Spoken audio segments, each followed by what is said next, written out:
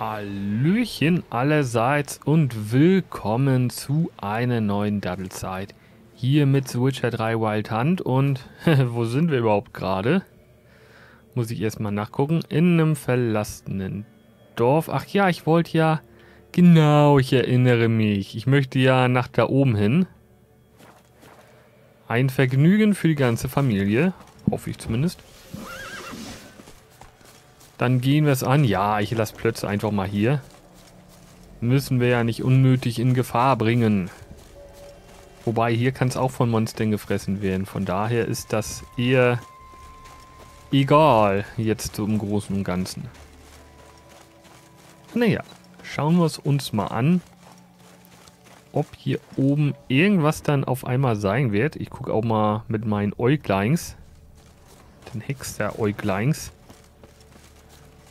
Oh, aber ich habe so das Gefühl, dass da irgendwas lauern könnte, was unseren Fähigkeiten ein wenig überlegen ist. Die ja doch vergleichsweise bescheiden sind. Was ist denn da unten? Kann es fliegen? Ah nee, das ist unter uns mehr oder weniger. Okay. Oh, und da hinten, da sind wieder Flugviechers. Wie wir sie lieben.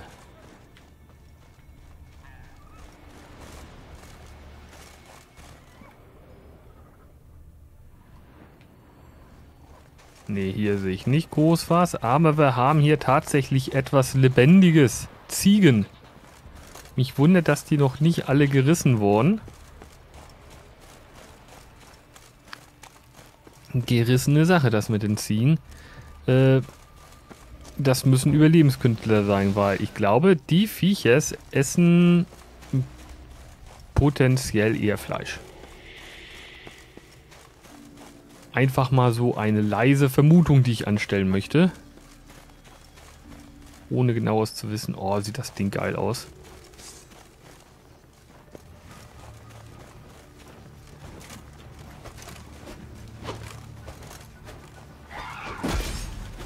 Hey.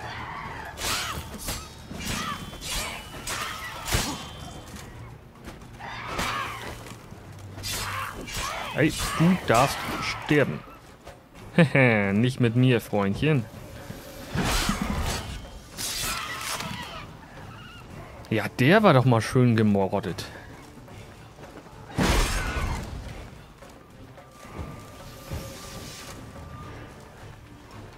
Hey, kommst du mal her.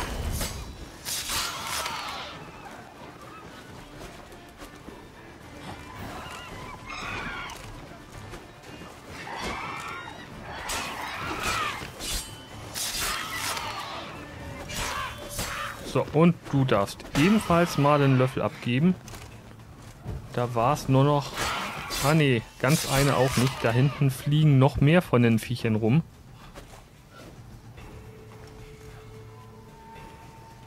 Und da unten, da gurkt auch noch ein Gedöns rum.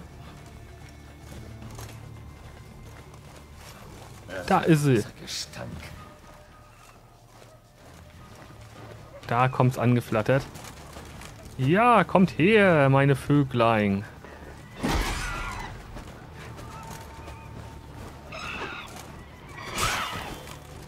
Oh. Einen erwischt und die zweite und die erwischt es auch mal.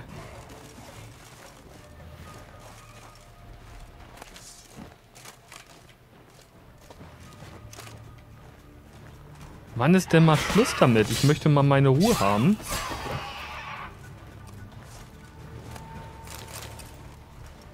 Okay, ich darf mal ein bisschen Sachen einsammeln. Sehr liebensgewürzig.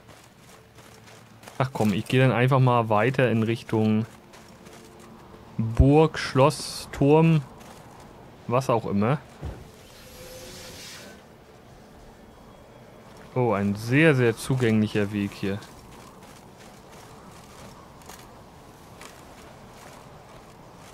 Ach, ich habe hier einen Weg. Ja, dann... Dann lässt es sich auch ein bisschen angenehmer hier gehen. So, nochmal ein Schildchen. Besser ist, wenn man vorsorgt. Weil aus irgendeinem Grund ist mir das Türmchen hier nicht geheuer. Ich kann mir nicht vorstellen, dass es da ohne einen Kampf auskommt. Oh, ein Tor. Äh, Tor, das sind, glaube ich, die, solche Magiertürme, womit früher auch äh, Teleporte gemacht wurden.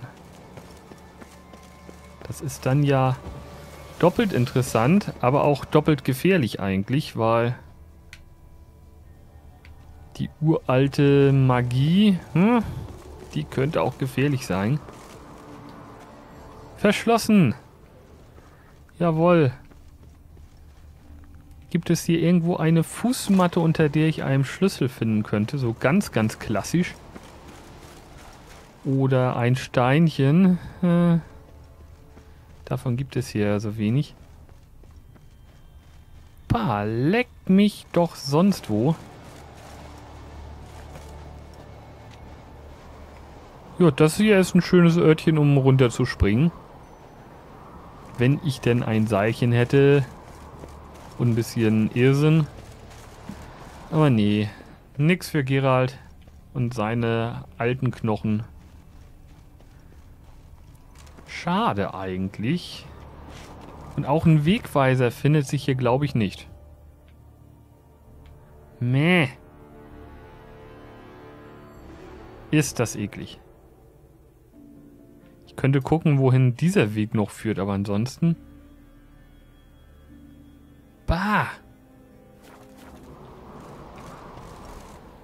Das kann doch nicht alles sein. Ich muss hier doch irgendwie rein können.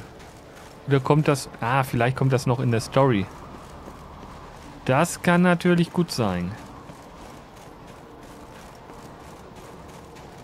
Ansonsten kann ich mir das gar nicht großartig vorstellen. Gott, ist das ein massives Ding. Muss da doch reinkommen. Sagen deine Hexensinne irgendwas? Äh, Hexer-Sinne. Nee, die sagen ihm nur, Mensch ist verschlossen. Okidoki. Eine Folge verbraucht, um ein paar Harpien zu killen. Immer mal wieder was Neues. Oder nee, da, da, da ist ein Wegweiser, glaube ich. Ja, yeah. nehmen wir den. Es gibt eine Schnellreisemöglichkeit, ist das schön. Und dann sind auch schon wieder die nächsten Viecher. Gucken wir aber mal. Hässliches Entlein. Nebenquests. Irgendwas auf Skellige noch. Die traurige Geschichte der Großbratbrüder. Nee, irgendwie nicht. Ah, die List des Königs. Mit Kirats Hilfe hatten sowohl Jalma als auch Ceres dem Tod getrotzt und Ruhm erlangt, was ihre Chancen auf den Thron von Skellige erheblich verbesserte.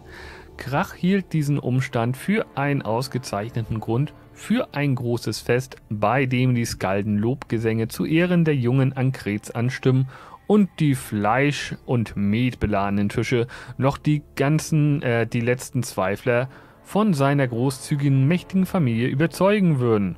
Auch Gerald war zu diesem Fest eingeladen, auf dem er ein Zeichen der Dankbarkeit Krachs erhalten sollte. Ahahaha. Ach ja, Gerald und die Politik, das ist immer so, so eine Sache für sich. Das mag er ja eigentlich so überhaupt nicht. Ah, und hier sind auch noch ein paar Hexeaufträge, die wir machen können. Durchaus, durchaus. Schauen wir doch mal hin. Aber erstmal müssen wir Genau, zurück nach Kehrtrolde. Und ach, scheiß die Wand an. Warum noch andere Kleidung anziehen? Ich glaube, ich kann da direkt so hin, wie ich bin, oder? Das sollte man jetzt nicht im wilden Norden, wollte ich schon sagen. Das ist ja nicht wirklich nördlich. Das ist ja Skellige Inseln halt. Und man tendiert immer dazu, Norden zu sagen. Wobei die ganze Region, in der das spielt, ist ja generell nördlich. Wir haben ja jetzt nicht so übermäßig viel äh, im Süden gesehen bisher, wobei mit dem letzten Add-on werden wir zumindest in etwas südlichere Gefilde landen. Aber das seht ihr dann, ne? Das seht ihr dann. Ich kann es ja schon so halbwegs zuordnen, wo das gelegen ist. Und ich kenne ja auch schon Screenshots und die sehen einfach mega aus. Da freue ich mich schon riesig drauf auf dieses neue Gebiet, was da zu kommen wird. Installiert ist ja schon alles. Wir sind nur noch nicht weit genug. Ja, da sind wir. In unserer Rüstung. Aber das passt hier ja, wie gesagt, richtig gut. die Wache hat dich vom Turm aus entdeckt. Ich wurde geschickt, um das Tor zu öffnen. Warum war es denn zu? Ist das die berühmte Skelliger Gastfreundschaft? Jo. Nein, es ist Tradition. Nach dem Fest wählen die Jarls den König. Da müssen die Tore geschlossen sein. Nur die Söhne und Töchter von Skellige dürfen sich im Schloss aufhalten. Ja, nee, ist klar. Ähm, hat Krach für mich eine Ausnahme gemacht? Gute Frage. Machen wir auch hat mal Krach stellen. eine Ausnahme gemacht? Extra für mich? Alle wissen, was du für Ceres und Hjalmar getan hast. Heute bist du einer von uns. Komm, Krach wartet. Einer von uns, einer von uns, einer von uns. Ruhig, zu ruhig. Wieso das? Oh. Es gibt auf Skellige ein Sprichwort. Auf einem guten Fest fließen Met und Blut in gleichem Maße. Das fändet ihr auf dem Festland sicher barbarisch, nicht? Ich weiß nicht. Klingt jedenfalls besser als langweilige Bankette garniert mit Hofintrigen. Na dann bin ich doch mal ich habe genauso wie du das gespannt auf das schöne dass du Fest. unterstützt, nicht meine Verbündeten klaust. Wenn ein Ankret die Krone tragen soll, dann... Solltest du das sein? Weil dir Flaum auf dem Kinn sprießt? Lass dir selber welchen sprießen. Vielleicht hören die Netter Flaum. noch zu. Willst du Sänger haben? Denk dran, das letzte Mal war ich diejenige, die am Schluss noch stand. Ja? Dann kämpfst du mit mir gegen die Wildkerle? Mal sehen, wer besser ist. Du oder Chalmar, der Riesentöter? Ach, hör mit deiner Scheißprahlerei auf! Riesentöter, ja, so halbwegs. Ach, verdammt. Das war keine Glanzleistung. Ja, das finde ich auch. Nicht gerade mit Ruhm bekleckert. Meinst du, das weiß ich nicht. Aber du hast sie gesehen. Sie ist so, so stur. Jetzt auch nicht bockig weigert sich auf irgendwen zu hören? Genau. Ähm. ah, Blicke reichen. Stimmt, Anwalt. Ceres und ich sind in dieser Hinsicht praktisch Zwillinge. Genau das wollte ich auch schon sagen. Aber wo ist denn Krach eigentlich? Ohne Krach ist es hier natürlich leise. Ich sehe Krach gar nicht. Spricht er gerade mit den Yards? Nein, der ist in seinen Gemächern. Zweifellos, um deine versprochene Belohnung vorzubereiten. Wenn du gerade Muße hast, Hexer, warum nicht ein paar Haken mit den Wildkarlen? Das lockert die Gelenke nach der Reise. Vielleicht später. Oh Mann, ich habe genug Game of Thrones gesehen, um zu wissen, was für Geschenke man bekommen kann. Bitte nicht hier. Och, so langweilig ruhig finde ich das hier eigentlich auch nicht. Und tanzende Damen, ausreichend zu essen und trinken. Ich würde mich hier richtig wohlfühlen, glaube ich.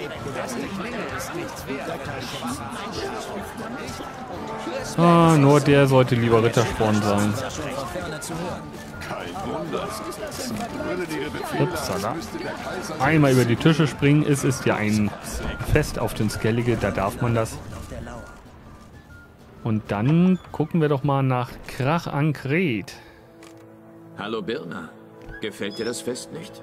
Das ist kein Fest. Das ist ein Bauernmarkt, wo Stimmen wie Schaffelle gekauft werden. Naja, warum auch nicht, äh...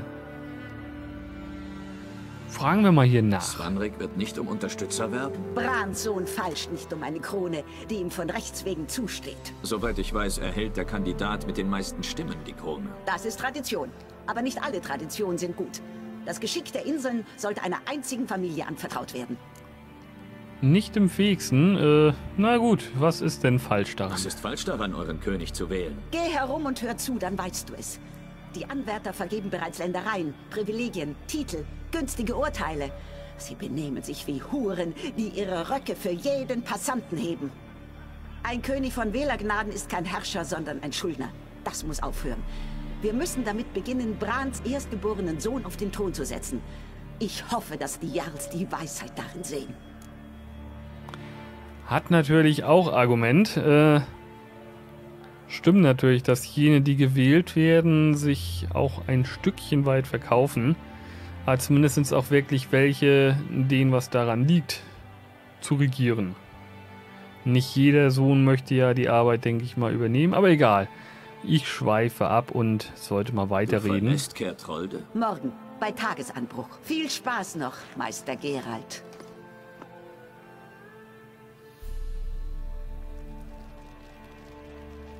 Darf ich? Du musst sogar. Komm, ich habe auf dich gewartet. Na, gefällt dir das Fest? Besser als die Festlandbälle? Es gibt jedenfalls mehr zu trinken. Ja, und ob. Alles aus meinem Keller. Doppelmet, Triple, zintrischer Pflaumenbrand, Mahakama Schnaps, der in der Kehle brennt wie kochendes Wasser. Die Ankrets wissen, was Gastfreundschaft heißt. Das habe ich irgendwie auch schon gesehen. Aber vermutlich wollen die ja damit auch was erreichen. Ja, ein verborgenes Motiv, ich würde mal sagen, recht offensichtliches Motiv. Äh. Ah, erstmal fragen wir das mal. Worum ging's denn? Politik. Was anderes interessiert sie schließlich nicht. Sie wollte mich überzeugen, dass wir Brans Andenken ehren müssen. Und dass sich deswegen meine Kinder aus dem Rennen um die Krone nehmen und Swanrik unterstützen soll. Warum nur glaube ich, dass du sie hast auflaufen lassen? Das ist noch freundlich formuliert. Ich habe sie rausgeworfen. Uh, kann man mal machen, ne? Aber was ist denn sein Favorit eigentlich? Hat ja zwei hin und her gerissen. Ob ich einen Favoriten habe, meinst du? Nein. Sie sind verschieden wie Feuer und Wasser. Aber in beiden fließt das Blut der Ankret. Hm. Ja, das sind die Fragen. Der Hitzkopf oder die Frau, die deswegen Probleme haben könnte? Mal unter uns. Ist Hjalmar nicht zu heißblütig, um König zu werden? Kommt drauf an, was du für einen König willst. Wenn du einen willst, der Gesandte schickt, Figürchen über eine Karte schiebt, die profitabelste Option berechnet, dann ist er zu heißblütig. Ja. Aber Skellige will einen anderen Herrscher. Einen, der Nilfgaard in seinem Blut ertränkt und lieber ins Feuer springt, als sich zu unterwerfen.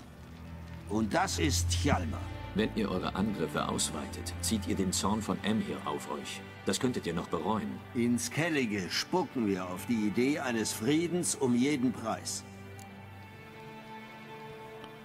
Jo, und dann können wir auch nochmal hier nachfragen. Wenn schon, denn schon. Meinst du, der Rat der Jarls wird es wagen, eine Frau auf den Thron zu setzen? Wenn du mich das vor ein paar Monaten gefragt hättest, hätte ich dir ins Gesicht gelacht. Aber heute sehe ich, und nicht nur ich, dass Ceres etwas hat, was auf den Inseln so selten ist wie heiße Sommer. Geduld. Andere handeln und denken dann. Sie nicht. Sie durchdenkt alles, wägt das Für und Wider ab. Aber wenn sie handelt, hält keine Macht der Welt sie auf. Und doch musste ich sie äh, zweimal quasi, einmal, einmal besiegt im Rennen und ein anderes Mal rausgeholt. So sehr nachdenken tut sie dann auch nicht, aber vermutlich für skellige Verhältnisse. Du hast mir eine Belohnung versprochen, wenn ich Und ihr Plan Kindern war ja helfe. gut. Und ich habe vor, mein Wort zu halten. Hier. Dieses Ding ist seit Generationen in Familienbesitz. Ich gebe es dir für deine Verdienste um den Fortbestand der Linie. Schöne Arbeit. Das sieht doch mal geil aus. Danke. Ich habe zu.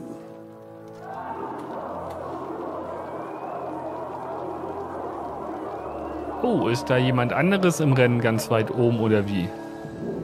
Weißt du, wohl schon wieder eine Schlägerei angefangen. Das ist nicht Chalmer. Gehen wir.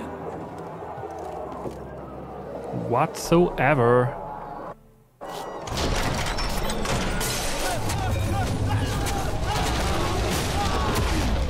Wow.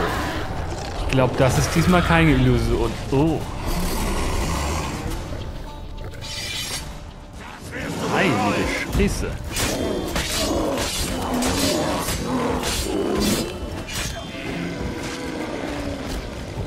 So, der erste wäre besiegt gewesen jetzt. Dann schlitzen wir auch den Bären mal schön auf. Upsala.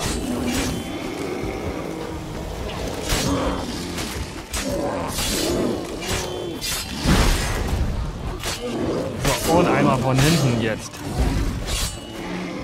Und zack ist der kaputt gegangen. Brrr. Ja, leck mich doch sonst wo.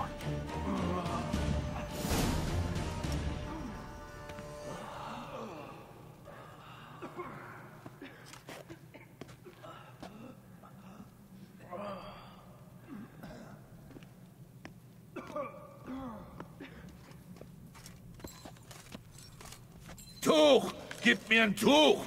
Ich muss die Blutung stoppen! Schnell!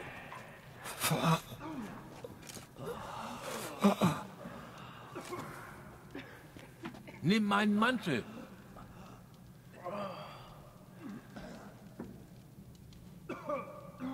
Halt durch, Sohn, du schaffst das schon.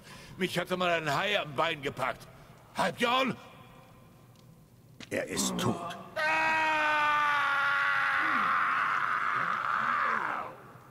Krach! Wo sind diese Bären hergekommen, hä? Antworte sofort! Pass auf, wie du mit meinem Vater sprichst. Steck das Schwert weg, Kleiner. Sonst verliert Krach auch einen Sohn. Du beleidigst mich, Logos. Jetzt bedrohst du meinen Sohn, das lasse ich nicht zu. Dann komm her! Los! Ich mach dich kalt wie einen räudigen Hund. Beruhigt euch, ruhig. Es ist genug Blut geflossen. Jemand hat diese Bestien hergebracht, um unsere Söhne und Brüder zu ermorden. Wir können sie nicht wieder lebendig machen. Doch wir müssen sie rächen, wenn wir können. Diese Bürde fällt dem Gastgeber zu und seinen Nachkommen.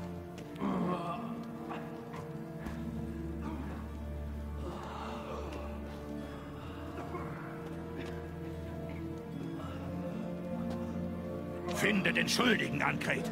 Finde und töte ihn. Sonst wird deine Sippe für die nächsten hundert Generationen verflucht sein.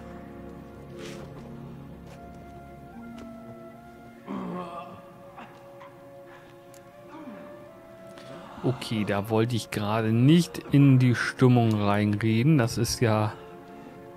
Ja, erstaunlich. Habe ich nicht mit gerechnet. Holla die Waldfee. Äh, da müssen wir definitiv wohl wieder was tun. Deswegen erstmal die Frage: Hat jemand gesehen, wie die Bären reingekommen sind? Hat jemand gesehen, Wenn wie wir die schon Bären dabei sind. reingekommen sind? Das ist egal. Ich weiß schon, wo der Schuldige zu finden ist. Warte! Bist du verrückt? Du willst Leute umbringen, bevor wir wissen, was passiert ist? Forsch nach, so viel du willst. In der Zwischenzeit gehe ich unsere Sippe von der Schuld reinwaschen. Hey, die Jarls hören nicht mehr zu. Lass das Heldengetue und denk einen Moment nach. Unsere Ehre steht auf dem Spiel, Schwester. Das kann nicht warten. Hörst du mich überhaupt? Jemand hat diese Bären reingelassen. Wir müssen erfahren, wer. Und die Antwort befindet sich irgendwo in diesem Raum. Genau. Äh, ich helfe der Ceres, weil ich denke, dass ich mit meinen Hexersinn sowieso irgendwas hier finden kann. Und deswegen machen wir das mal so. Sie ist da eh auf meiner Wellenlänge, wobei ich sag ihr auch gerne mal eigentlich. Aber egal, ich helfe dir, Ceres. So muss das Du sein. hast recht, Ceres. Ich helfe dir. Danke. Schön. Wir sehen uns, wenn ich mit den Köpfen der Verräter zurückkomme. Ich bleibe hier. Jemand muss sich um alles kümmern. Den Heiler rufen, die Gefallenen den Familien übergeben. Wolf, ich danke dir.